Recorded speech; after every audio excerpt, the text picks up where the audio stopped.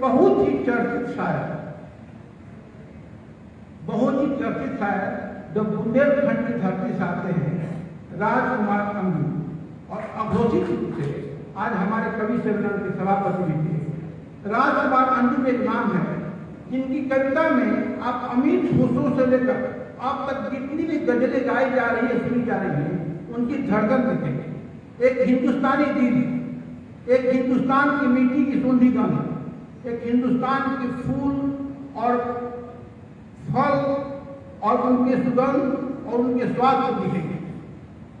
राजकुमार अंजुम एक नाम है, जिनकी कविताओं में एक आम दिनचर्या में आने वाले शब्द मिलेंगे और कोई दूर की कोड़ी नहीं मिलेगा हमारे सूफी कवियों ने जो इस मजाजी से इस हकीकी तक यात्रा किया था, उन तमाम यात्राओं के एक चित्र भी देखेंगे इन कविताओं में लेकिन जिसमें एक रूहानी जो ज़िंदगी होती है उससे अधिक एक जिसमानी ज़िंदगी मिलेगी। तो राजकुमार अंजुम साहब का, आप सभी लोग तालियों से गड़गड़ा का स्वागत करें। और मैं कहना चाहता हूँ उनकी लिखी हुई जो कुछ कविताएँ हैं और कुछ किताबें मैंने पढ़ी हैं इसमें लफ्जों की बारिश बहुत चर्चित है। और अन्य कविताएँ उन्होंने आज हमको दिया है हमारे में पढ़ो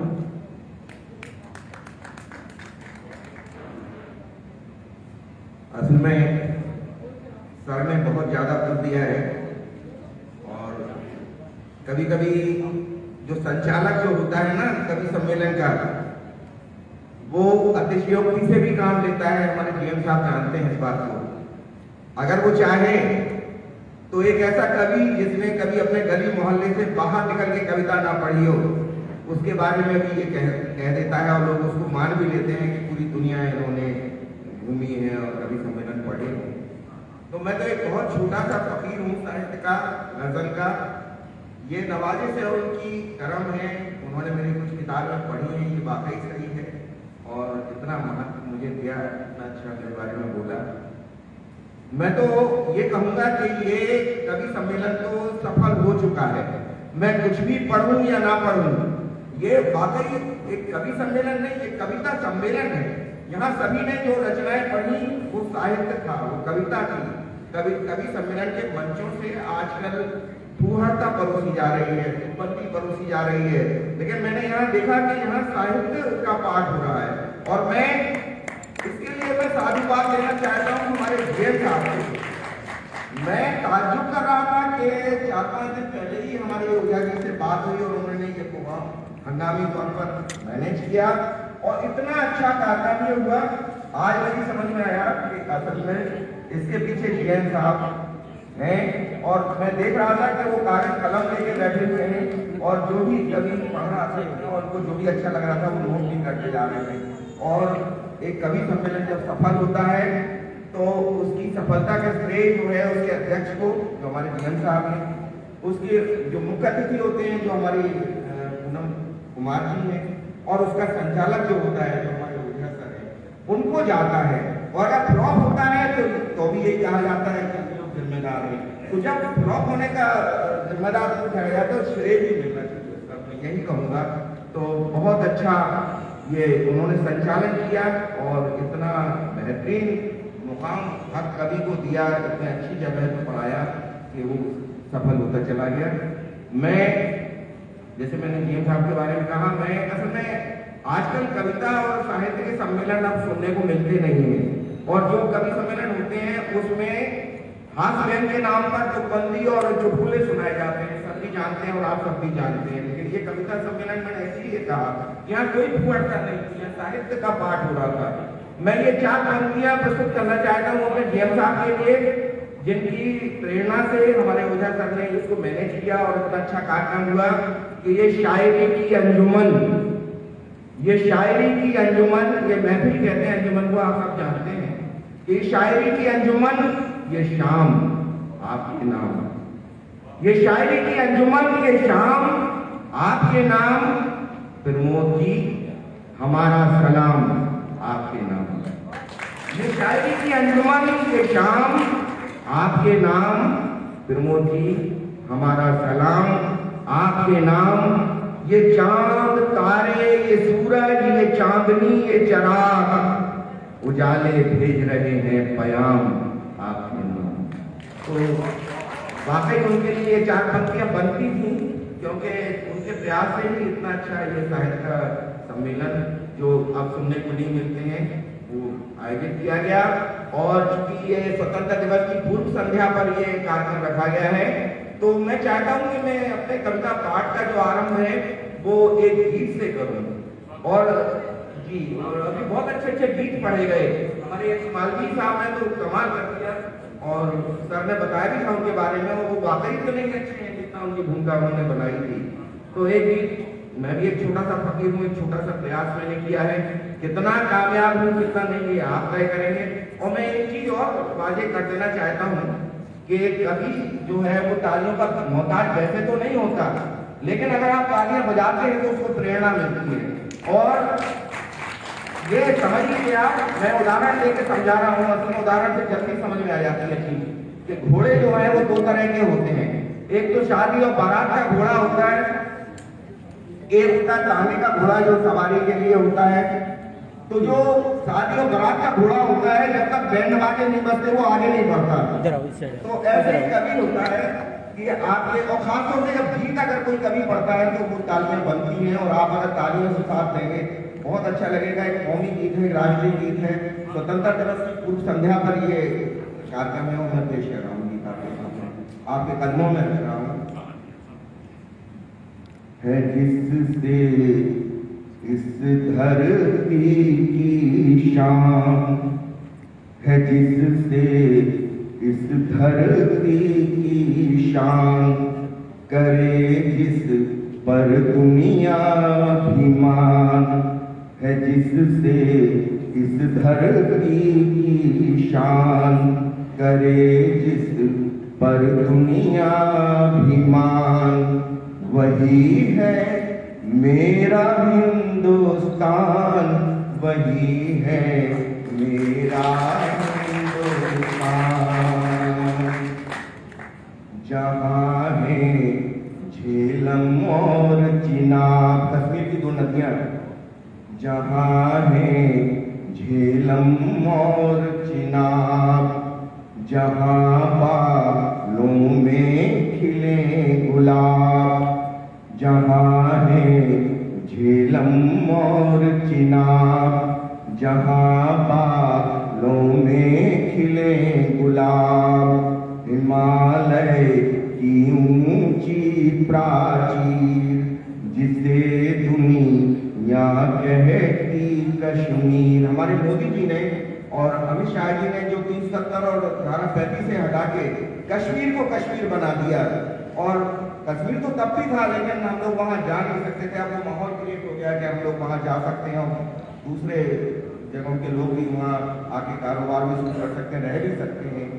हिमालय की ऊँची प्राचीर, जिसे दुनिया कहती कश्मीर जिसकी एक निराली शान हमारी जान वतन की आन वही है मेरा हिंदुस्तान, वही है मेरा हिंदुस्तान।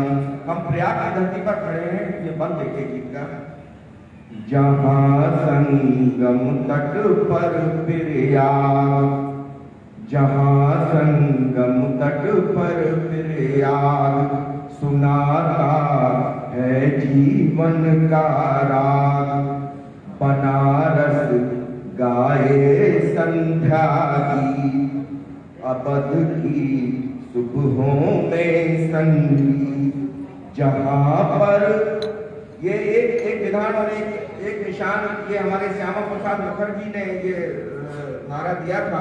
आज वो सार्थक हो रहा है नारा। आज एक विधान और एक निशान का जो नारा था, जहाँ पर सबका एक विधान, तिरंगा, सबका एक निशान।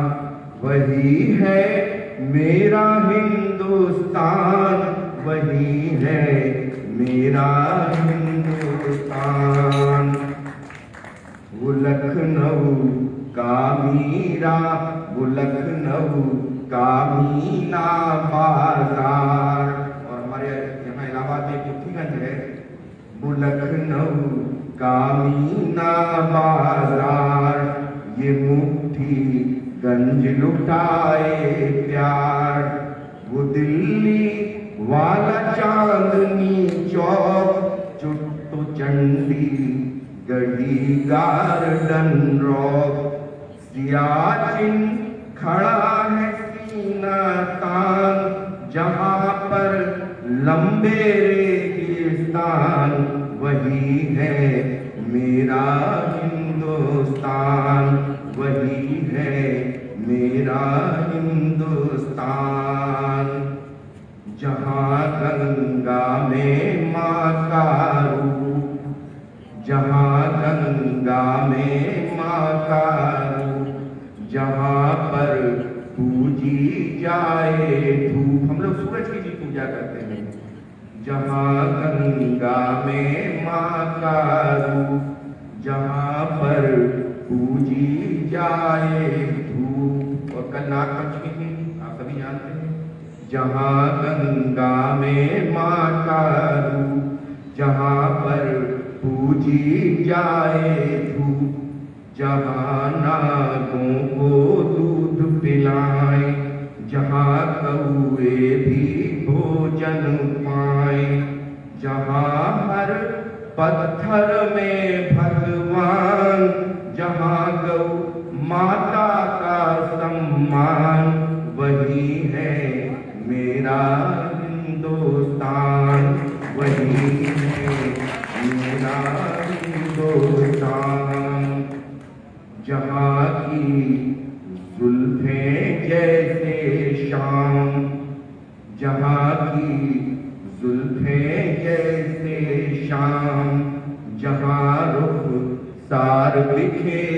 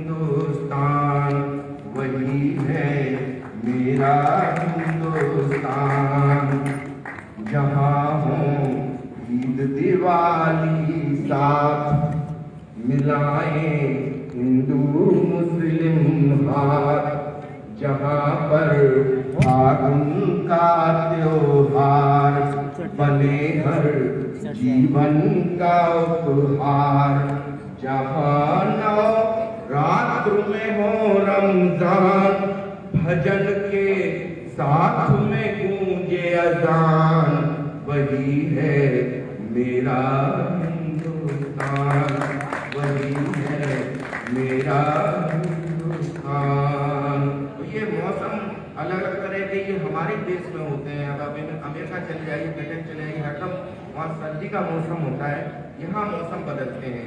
अलग हर मौसम की सौगात, जहाँ सर्दी, गर्मी, बरसात, कभी सूरज उगले अंगार तो पड़ती ठंडी, कभी फुहार, कभी रुत हो जाए बेईमान, कभी उठते नभ में तूफ़ान। वही है मेरा हिंदुस्तान, वही है मेरा हिंदुस्तान। आखिर बंद कर। घटाएँ उठती जब घन घोर घटाएँ उठती जब घन घोर तो नाचे, पंख खोल कर मोर। तराने झिंगुर मधुर सुनाए तो भंवरे एकल सुर में गाए। कोयलिया छेड़े ऐसी तान के भटके हर राही का ध्यान, वही है मेरा हिंदुस्तान वही है। मेरा हिंदुस्तान वही है। मेरा हिंदुस्तान तो मैंने क्योंकि परफेक्ट है आज के इस कार्यक्रम का आज की संध्या का तो वहीं से मैंने अपने इसका कविता पाठ का आरंभ किया है। अब मैं चाहता हूँ कि भाई हमारे शैलेश गौतम जी ने बहुत ही खूबसूरत दोहे यहाँ इस मंच से पढ़े। और मैं केवल इसलिए कुछ दोहे आपके कदमों में रखना चाहता हूँ कि उनको ये लगे कि दोहे सिर्फ़ वही कहना नहीं जानते, कोई और भी जानता है। और हमारे ओझा सर बैठे हुए हैं। मुझे हैरत होती है कभी कभी ये जान करके इतने शेर इनको याद है मीर और गालिब से लेके फैज और फराज तक। बिल्कुल, और क्लासिकल बहुत अच्छा कहा आपने। क्लासिकल शायर में उनके उनके कलाम को जो कंठस्थ हैं, बिल्कुल, ये बहुत बड़ी बात है। तो मैं उन्हीं के हवाले से ये कहना चाहता हूँ, दो पंक्तियाँ, कि कभी गालिब ने ये बात कही थी कि रेख्ता के, रेखता कहते उर्दू जबान का पुराना नाम है शॉर्ट में ऐसे समझ लीजिए आप तो उर्दू को पहले रेखता कहा जाता है। तो गालिब ने कहा था कि रेखता के तुम ही उस्ताद नहीं गालिब रेख्ता के, तुम ही उस्ताद नहीं गालिब सुनते हैं अगले जमाने में कोई वीर भी था। तो मैं चाहता हूँ कि गौतम साहब ये याद रखें कि ये कंजूम भी था जिसमें ये दोहे पड़े थे। और मैं कुछ दोहे आपके कदमों में रखना चाहता हूँ। पेश करना चाहता हूँ कि अपना अंबर एक है, धरती अपनी एक। अपना अंबर एक है, धरती अपनी एक अपना सुख भी एक है, अपना दुख भी एक। और कर्जदार में हम सभी। वक्त है साहूकार। कर्जदार में हम सभी। वक्त है साहूकार। मिला कर्ज जितना जिसे, उतना कारोबार। देखिए, बहुत कविताएँ मंच से पढ़ी हुई हैं बेटियों के बारे में भी। ये दो पंक्तियों में अपनी बात रखता हूँ कि डिग्री घर की बेटियाँ, बेटे स्वर्णिम खान। बहुत कुछ कहा जाता है, बेटी बचाओ, बेटी पढ़ाओ, लेकिन हकीकत बिल्कुल अलग है। आज भी कोई नहीं चाहता कि हमारे घर में बेटी आए। उसकी वजह यही है कि डिग्री घर की बेटियाँ, बेटे स्वर्णिम खान, इनकी शादी घर में के बेलाते धन धान ये हकीकत है। और एक सपेरा सा समय अपनी बीन बजाए। एक सपेरा सा समय अपनी बीन बजाए, जिसको चाहे किस तरह, वैसा उसे नचाए। और कुछ दोहे, यहाँ मातृशक्ति बैठी हुई है। हमारे पूनम कुमार जी बैठे हैं मैं तो ये देख रहा हूँ कि जैसे गंगा भागीरथी जो है, वो हिमालय से निकलती है। तो इस महफिल में तालियों का सिलसिला जो है वो उनसे चलता है इतना समझती है वो कविता को और फिर वो पीछे फॉलो करते हैं लोग। तो मैं इसलिए भी कह रहा हूँ कि वो कुछ तालियाँ अगर बजाती जाएँगी तो एक माहौल क्रिएट हो जाएगा। और माँ के हवाले से कुछ, माँ के हवाले से कुछ दोहे दो तीन दोहे मैं रखना चाहता हूँ कि माँ की आँखों में दिखे गीता और कुरान। माँ की आँखों में दिखे गीता और कुरान ईश्वर अल्लाह सा लगे माँ का रूप महान।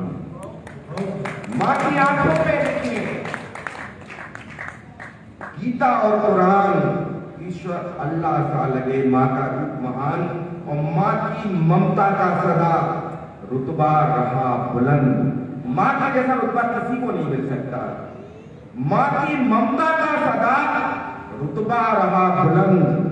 माँ है गालिब की गज़ल, माँ मीरा का छंद माँ की ममता का सदा रुतबा रहा बुलंद।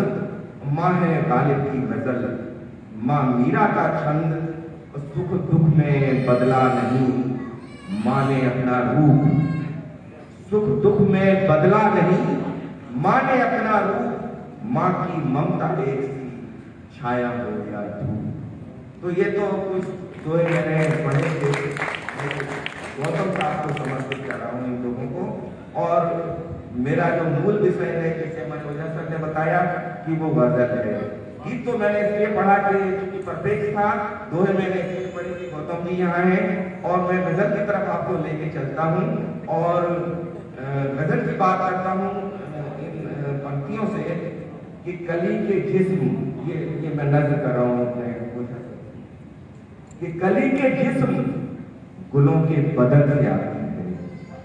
कली के जिस्म गुलों के बदल से आती है, वो एक महक जो तेरे पैर से आती है। पैरहन निवास को कहते हैं। कली के जिस्म गुलों के बदन से आती है, वो एक महक जो तेरे पैरहन से आती है। और खासतौर ये शेर उनके लिए कि पराए लोगों को अपना बनाने की खूबी इनकी महबूब शख्सियत को आप ध्यान में रखिए, जो एक बार इनसे मिल लेता है मीठा हो जाता है। कि पराए लोगों को अपना बनाने की खूबी जो तुमने पाई है, काफ़ी जतन से आती है। पराए लोगों को अपना बनाने की खूबी जो तुमने पाई है, काफ़ी जतन से आती है। और चूँकि स्वतंत्र दिवस की पूर्व संध्या में ये गाना में ये दो पंक्तियाँ महसूस करिएगा कि गरिमा को आपके हवाले कर रहा हूँ, आपके हाथ में इलाज के वतन के वास्ते जो लोग जान उतारते हैं।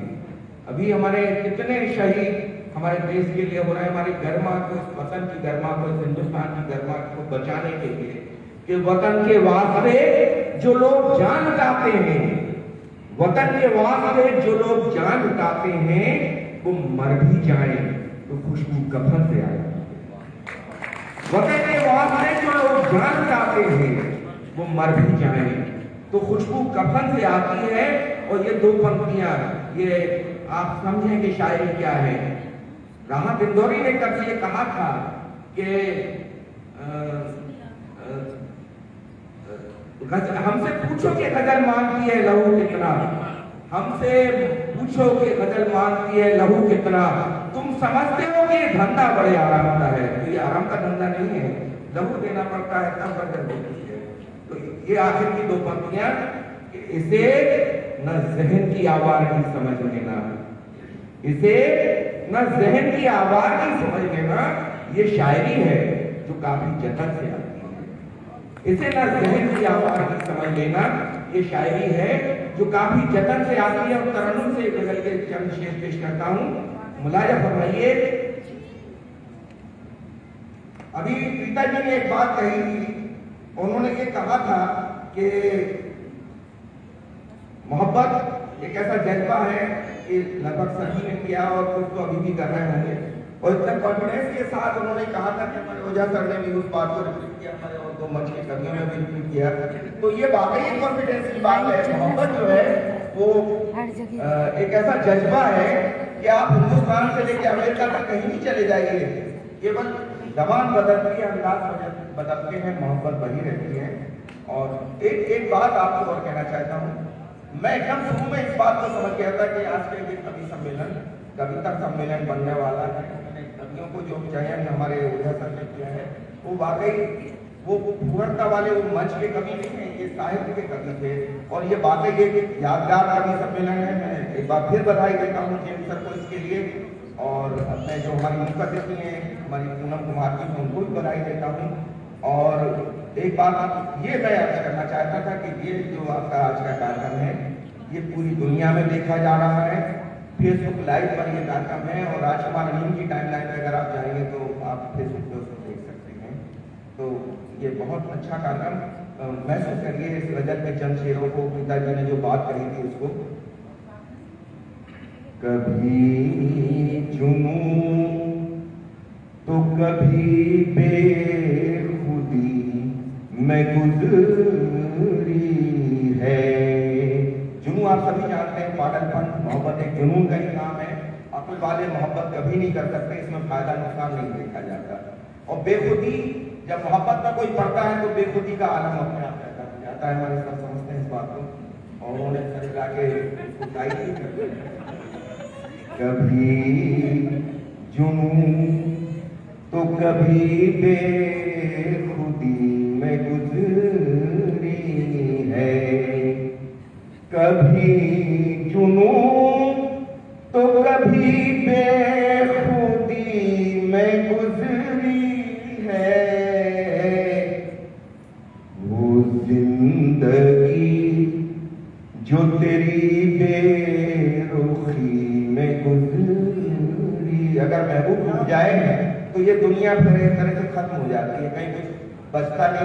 ये बात केवल वही समझ सकते हैं जिन्होंने मोहब्बत कभी की हो या जो पिताजी जैसा दिल रखते हो, जो जज्बा मोहब्बत का है, उसको समझते हो। मैं यही अर्ज़ कहना चाहता हूँ आपसे कि ये गज़ल जो हमारी है, इसको कानों से नहीं, दिल से सुनने की गज़ल है। ये दिल से महसूस कीजिए, आपको बहुत आनंद आएगा। इसमें शायरी वायरी नहीं है। ये सीधा दिल से दिल का मामला है। आप तक पहुंचेगी अगर आप उसको उस तरह से सुनेंगे। कभी जुनू तो कभी बेखुदी में गुजरी है। कभी जुनू तो कभी बेखुदी में गुजरी है। वो ज़िंदगी जो तेरी बेरुखी में गुजरी। शेर बोला भाई देखिए, जब महबूब रुक जाता है तो ये दुनिया जैसे मैंने कहा बेकार हो जाती है उसके लिए। वो शायर हो और हर शायर बुनियादी तौर पर एक आशिक ज़रूर होता है। ये बहुत राज की बात बता रहा हूँ, बिना आशिकी के शायरी और बिना इश्क हो ही नहीं महसूस कीजिए इसको और शेर सुनिए कि तुम्हारे बाद किसी एक दर के हो ना सके। दर मतलब दरवाज़ा। तुम्हारे बाद किसी एक दर के हो ना सके। जो उम्र गुजरी है, आवारगी में गुजरी है। वो फकीर ऐसा हो जाता है, कभी घर में किसी का होती नहीं रह पाता तुम्हारे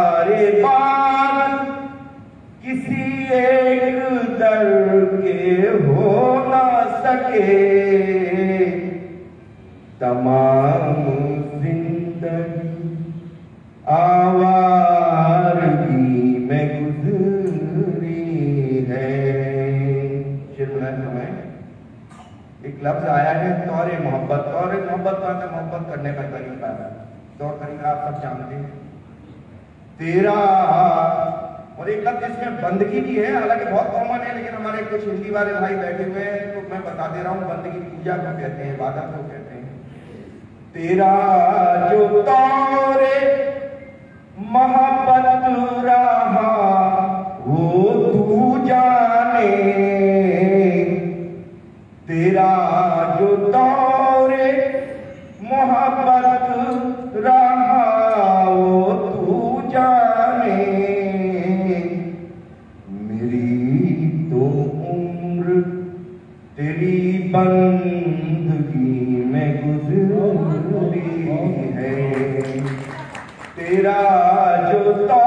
मोहब्बत एक इबादत होती असल में। मोहब्बत जो करता है उसको खुदा की, खुदा को आप एक जुमानी शेर होते हैं, सब जानते हैं बात को।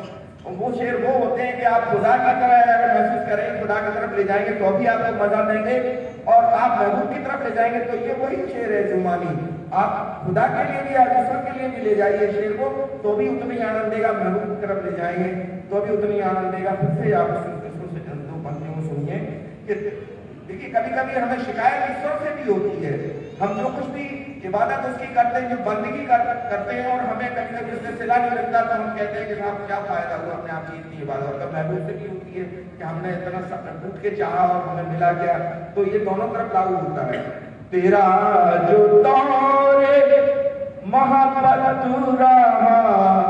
वो तू जाने मेरी तेरी बंदगी में गुजरी है। कृष्ण ने गीता में कहा है कि हमें कर्म करना चाहिए फल की इच्छा नहीं करना चाहिए। तो हमारा जो उम्र जो है मैं वो हमने बंदगी में काटी अब हमें क्या सिला मिला क्या नहीं ये देखने नहीं चाहिए कभी। और जो देखता है वो इश्यू नहीं करता वो कारोबार करता है समझ वो व्यापार बिल्कुल तेरा जो तौरे मोहब्बत रहा वो तू जाने। मेरी तो उम्र तेरी बंदगी में गुजरी है। शेर फरमाइए, जैसे मैंने कहा था कि गज़ल में शायरी मायरी नहीं है ना आपको मिलेगा कुछ। आप दिल से दिल का मामला है सीधा सीधा आप महसूस करिए। बहुत सीधा सा शेर है, कोई लफ्ज ऐसा नहीं जो आपकी समझ में नहीं आया, हमें कुछ बताने की ज़रूरत नहीं, महसूस करना शेर को। कि तुम्हारे बाद ये सूरज कभी नहीं निकला। जब दिन डूब जाता है तो सूरज उसके लिए कभी निकलता नहीं है। अंधेरे में रहता है। शाहजहां जब मुमताज़ की डेथ हुई थी तो महीने भर अंधेरे में रहा था तुम्हारे बाद ये सूरज कभी नहीं और जो उम्र गुजरी है, सो तीर मैं गुजर। तीर अंधेरे को कहते हैं? तुम्हारे पार ये सूरज कभी नहीं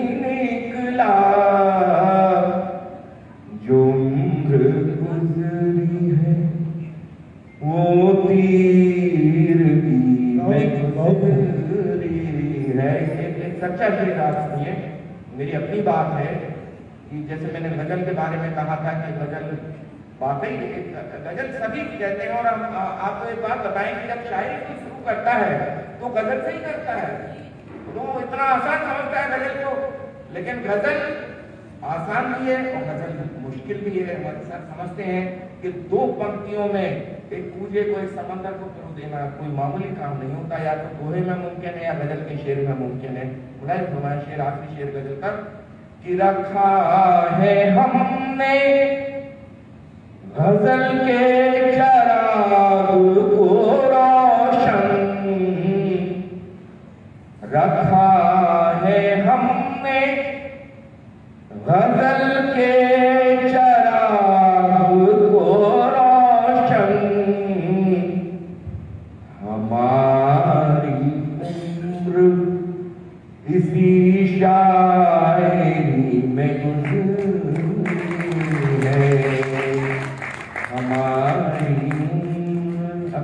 पंक्तियाँ मैं सरस पेश करना चाहता हूँ कि सिर्फ़ लहजा नहीं, चेहरा भी गज़ल जैसा है।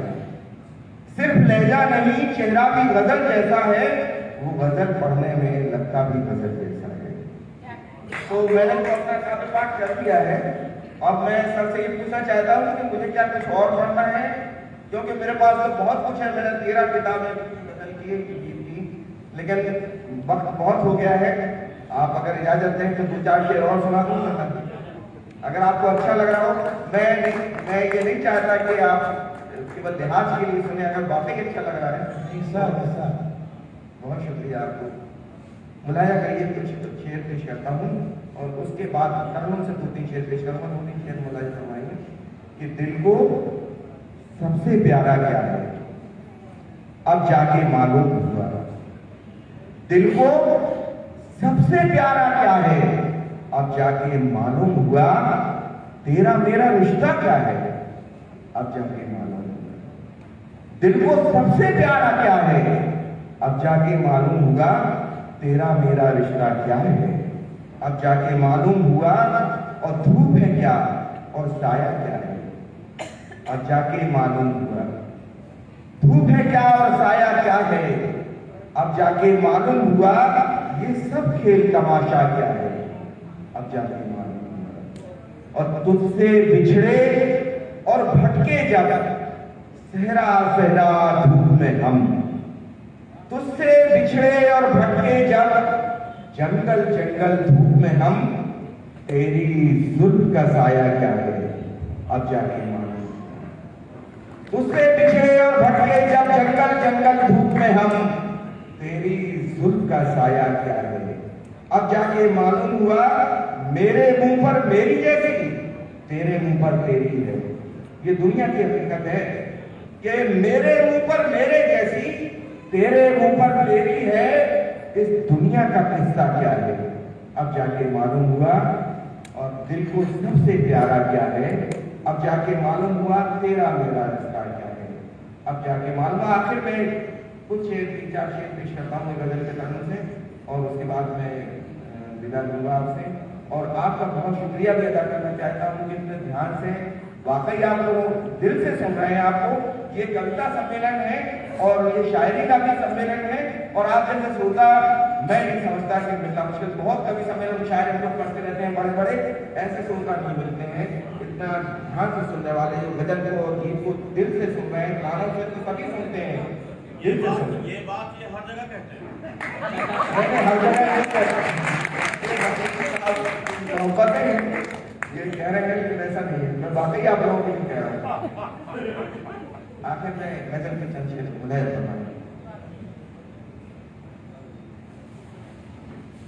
जब से हम तेरा प्यार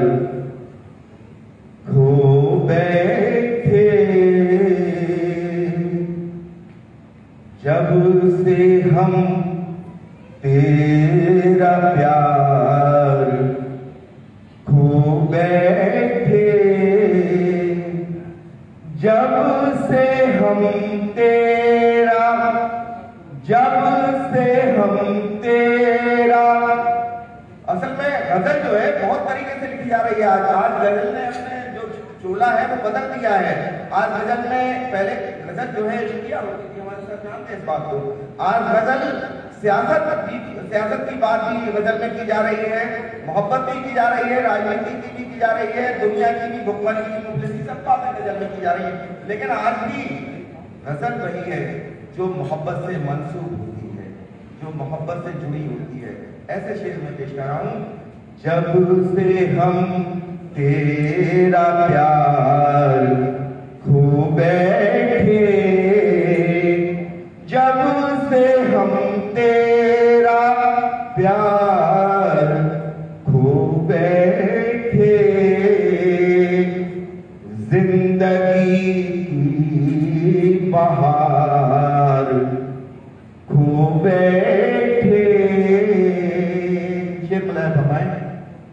साइकोलॉजिकल शेर है।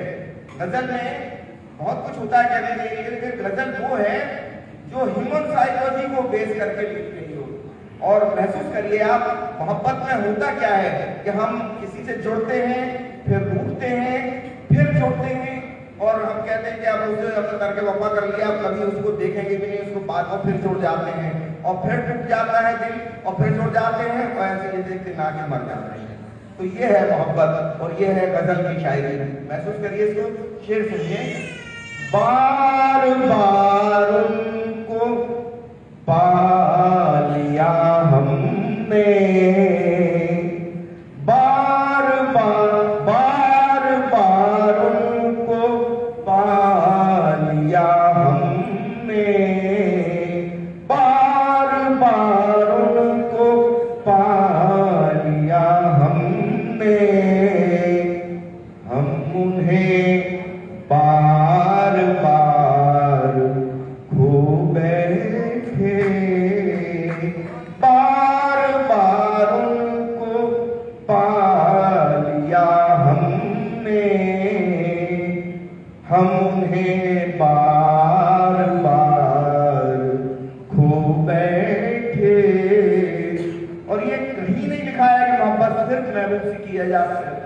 सकती है, किसी और से नहीं की जा सकती है। कहीं नहीं लिखा।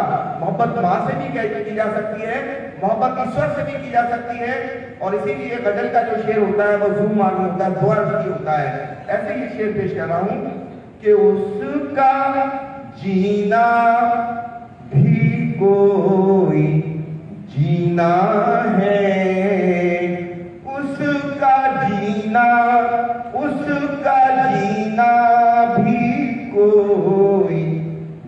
जीना है, जो तेरा एतबार खो गए अगर खुदा, अगर मेहमान ना हो तो ये ज़िंदगी दुश्वार हो जाती है, हम जी नहीं सकते एक भी दिन।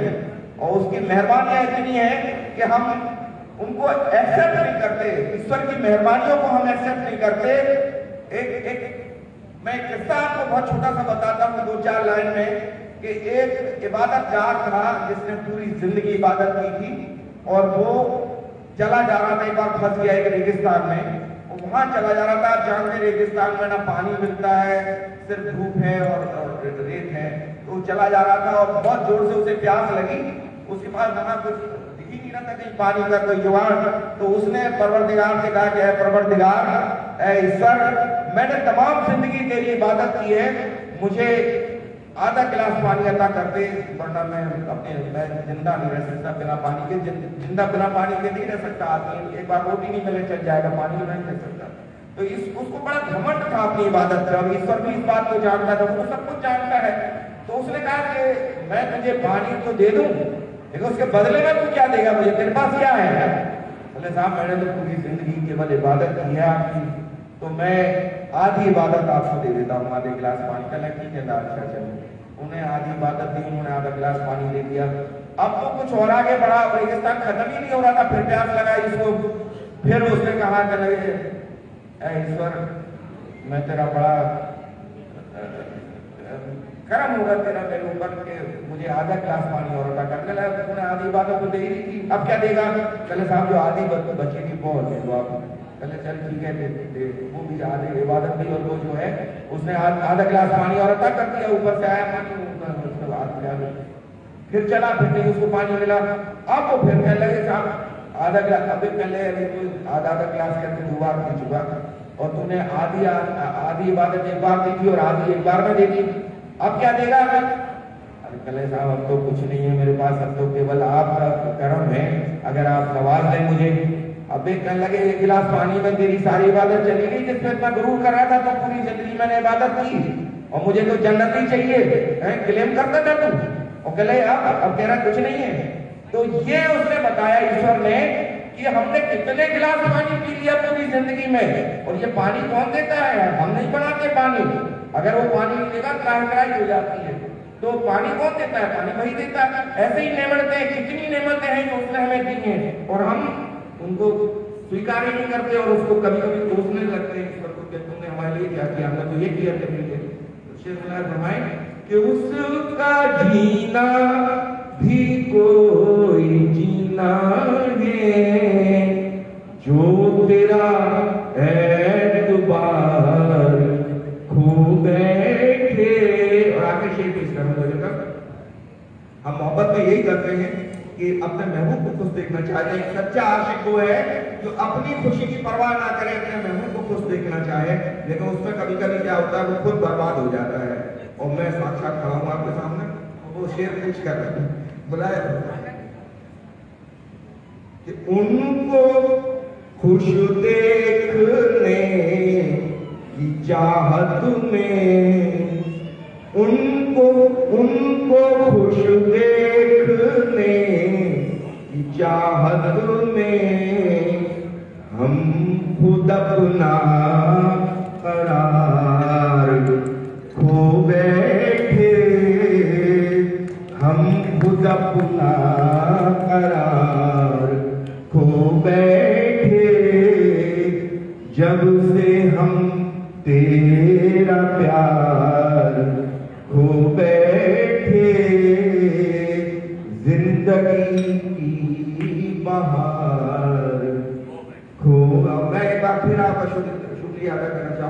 मोहब्बतों से आपने सुना। और मैंने इतना इतनी करता इतना गज़ल, इतना गीत और सब कुछ पढ़ दिया, आपको बातों में लगाया रहा, आप समझ नहीं पाए और मैं कामयाब हो गया। मेहरबानी। उन्होंने मुझे ऐसा मकाम दिया कि अब पढ़ने के लिए हमारे पास कोई है ही तो मैंने भी सोचा कि चलिए थोड़ा सा आपको ज़्यादा सुना बहुत मेहरबानी आपकी। अंजुम नवाजी का बहुत बहुत शुक्रिया। थैंक यू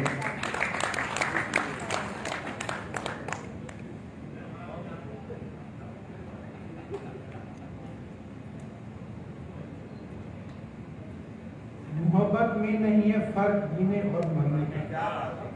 उसी को देख कर जीते हैं जिस जालिम पे दम गालिब का ये कहते हैं गालिब है अंदाजे में और लेकिन आपने आज देखा, राजकुमार जी का अंदाजे में। राजकुमार जी का अंदाजे बयान देखा जिसमें मीर भी है और मोमिन भी रेपता के तुम्हें नहीं है उस्ताद तालीम कहते हैं अगले जमाने में कोई भी था। ये अगला जमाना जो है वस्तुता ये डिक्शनरी के मरे हुए शब्द नहीं है। अगला शब्द का अर्थ पिछला है। या अगला कर्ज पिछला है पिछले जमाने में। मैंने गालिब से शरीयत थे कि मीर के लिए कहा गया है। और साहित्य अपनी एक कविता याद आती है तुम मुझे ना मिली तो मैं ये समझूँगा। सिर्फ़ उम्र कटी ज़िंदगी नहीं क्या बात है? देखिए मुझे ना मिली तो मैं ये समझूँगा। सिर्फ़ उम्र कटी ज़िंदगी नहीं कटी दोस्तों समय बहुत अधिक हो गया है। और मैं कैसी आदमी के शब्दों में मैं दाद देना चाहता हूँ राजमन अमीन जी का। फितरत ने तौल तौल के चश्मे कबूल में सारा चमन निचोड़ दिया एक फूल फितरत ने तोड़ तोड़ के चश्मे कबूल में सारा चमन निचोड़ दिया एक फूल में। कवि सम्मेलन को इन्होंने शामे के कदम बदल दिया। समय। आपको साधुवाद देते हैं सच्चा कभी ऐसा भी होता है जो पुस्तक में जिसको हम हीरो बनाते हैं हीरो को दूसरा कर देता है। तो अन, तो दोस्तों ये महफिल कैसी रही? मैं बुलाना चाहता हूँ हम हमारे उत्तर मध्य रेलवे के महाप्रबंधक श्री प्रमोद कुमार जी को कि इस मंच पर सर दो शब्द बताए कहीं एक की तरफ़ कैसी लगी? बोले कवि सम्मेलन कैसा लगा? तो कवियों का जो कहना हंसना खिलखिलाना और तमाम सुविधाओं को छोड़ के और आप अपने आशीर्वाद रूप में सब दो शब्द करें। हमारा आदर है।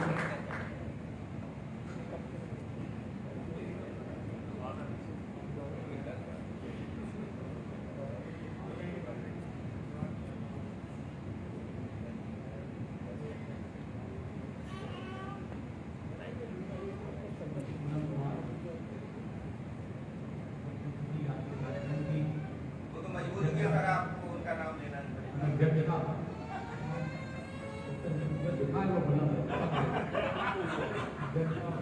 बढ़िया संचालन करके आपको घर भी तो जाना है। झांसी में झांसी से मुख्य राजभाषा अधिकारी माथुर जी हमारे सांस्कृतिक अ, संगठन के अध्यक्ष ओझा जी समस्त अ, विभाग अध्यक्ष और यहाँ उपस्थित सभी देवी और सज्जनों आपके बारे में बाद में कहूँगा क्योंकि मैंने आपको संबोधित नहीं किया तो मैंने पहली बार देखा है कि कोई कवि सम्मेलन हो और यहाँ पूरा खचाखच भरा रहे कवि लोग कम हो जाए और जबकि सर ना कोई चुटकुले सुनाएगा यहाँ इस मंच से नहीं नहीं मैंने कहा इधर पूरा भरा है वही तो इधर कुछ कम हुआ है सब बहुत ध्यान से सुना बहुत ही बेहतरीन प्रोग्राम था। सबसे पहले तो आप सबको बहुत बहुत बधाई। ये प्रोग्राम स्वतंत्रता दिवस की पूर्व संध्या पर है। पूर्व संध्या पर आप सबको बहुत बहुत शुभकामनाएँ। स्वतंत्रता दिवस से कवि सम्मेलन का बहुत बड़ा नाता है। और ये हमेशा पहले ही होता है। क्यों होता है? आप लोग ज़रूर मैं थोड़ा सा बताना चाहूँगा। नॉर्मली तो हम लोगों ने कभी सम्मेलन अटेंड किए हैं। लेकिन इसका एक नाता है कि जो कुछ आप अदरवाइज़ कह पाते हैं, भाषण देके कह पाएँगे, बातचीत करके कह पाएँगे, वो पॉसिबल नहीं है कि वो आपके दिल में उतर जाए। और जब स्वतंत्रता मिली थी उसके पहले भी, जब सारे के सारे लोगों को इकट्ठा करना होता था, या उनको एक कॉमन बात करनी होती थी, सब में जोश भरना होता था, तब ज़रूरत थी कि हमारे जितने साहित्यकार थे, जो कवि थे, उन लोगों ने बहुत सारा जज्बा भरा लोगों के बीच में। और ये बड़ा कारण है कि इन दोनों का नाता पुराना है और हमेशा हमेशा साथ साथ चलता। है इतना बेहतरीन आज आप लोगों ने प्रोग्राम किया है मैं बीच बीच में ज़रूर मैं ये नोट करने की कोशिश कर रहा था अंजुम जी जो अंजुम जी जो आप बोल रहे थे डेफिनेटली ओझा साहब को मैंने दो दिन पहले ही बोला दो या तीन दिन पहले है। उनके मन में तो बहुत था ये करना है। अदरवाइज़ होता नहीं ये तो इसलिए मैंने कहा और उनको अपने मन की बात मिल गई और उन्होंने आगे बढ़ा दी उनको भी ये था कि काफ़ी समय से ये नहीं हो रहा है बिकॉज़ ऑफ़ ये पेंडेमिक की वजह से। हम लोग प्रोग्राम नहीं कर रहे हैं। अदरवाइज़ उनके मन में तो ज़रूर रहा होगा कि एक कवि को कहा जाए कि आपको कभी सम्मेलन करना है। ऐसा कभी हो सकता है? तो पूरी तरह है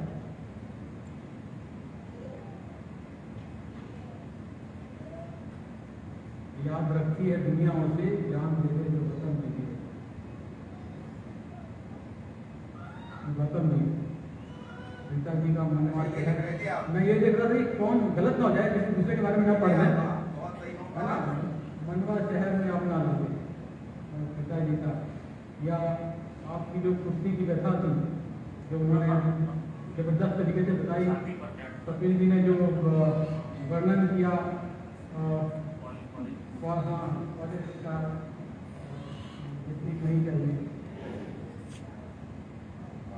समुद्र का पानी भी मीठा था, ये तो मुझे आज पता नहीं समुद्र का पानी क्यों नमकीन हो गया, आज पता चला बहुत ही बेहतरीन वर्णन और सबको लगे कि हाँ बिल्कुल ठीक है, इसमें कोई बुराई नहीं है इसलिए हुआ।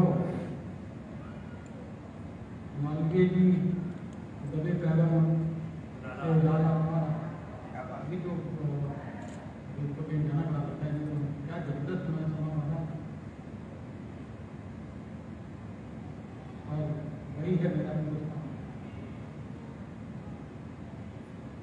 आप सभी को बहुत बहुत बहुत बधाई, बहुत बहुत शुभकामनाएँ। आप ऐसे ही बहुत सारे और कार्यक्रम में हम लोगों का शामिल हैं इसलिए हमारे आए हैं बहुत शुभकामनाओं के साथ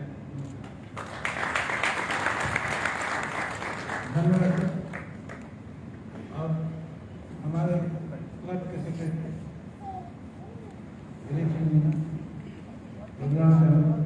धन्यवाद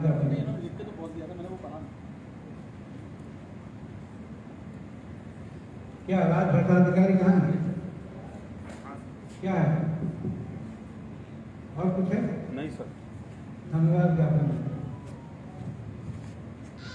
हम सब खुश हैं आई इस महफिल में बाहर इसलिए व्यक्त करता हूँ मैं आप सबका आभार। बहुत अच्छा। और बढ़िया आप सभी व्यक्तियों का हृदय से अभिनंदन धन्यवाद बात करता ये हूँ। सर ने अभी कहा दो लाइन में जो बात हो सकती है वो एक भाषण में पूरा नहीं हो। सर्वप्रथम मैं आज के कार्यक्रम के अध्यक्ष महाप्रबंधक श्री प्रमोद कुमार सर का अभिवादन एवं धन्यवाद करता हूँ जिन्होंने इस कार्यक्रम की नींव रखी। और इस कार्यक्रम में उपस्थित होकर इस कार्यक्रम को सफल बनाया। आज के कार्यक्रम की मुख्य अतिथि श्रीमती पूनम कुमार मैडम का धन्यवाद ज्ञापन करता हूँ, जिन्होंने महिला कल्याण संगठन की और महिला सदस्यों के साथ इस कार्यक्रम में उपस्थिति देकर इस कार्यक्रम को सफल बनाया। मैं सभी वरिष्ठ अधिकारियों का धन्यवाद देना चाहता हूँ, जिन्होंने आज अपने इस कार्यक्रम में उपस्थिति उपस्थिति देकर इस कार्यक्रम को सफल बनाया। मैं मंच पर आए हुए सभी कवियों का धन्यवाद देता हूँ, जिन्होंने इतने कम समय की सूचना में इस उमदा कार्यक्रम को प्रस्तुत, हमारे स्पंदन रेलवे अधिकारी के मंच, क्लब के मंच पर प्रस्तुत किया।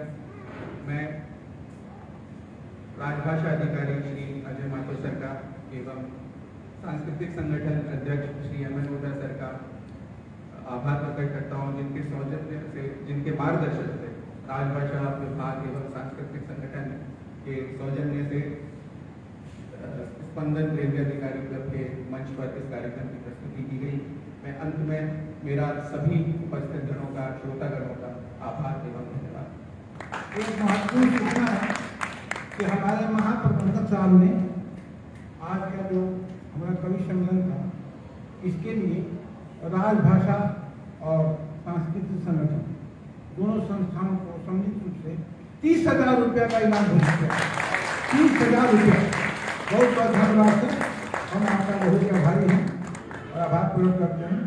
और हमारे सभी कवि, हमारे अभी मित्र हैं, अपना अमूल्य समय समय निकालकर आज हमारे बीच हैं। हम इस अमूल समय को भूल नहीं पाएँगे। और जहाँ कहीं भी रहें कानून रहें और फिर हम कहीं बुलाएँगे और राजभाषा बारे में ज़रूर बुलाएँगे।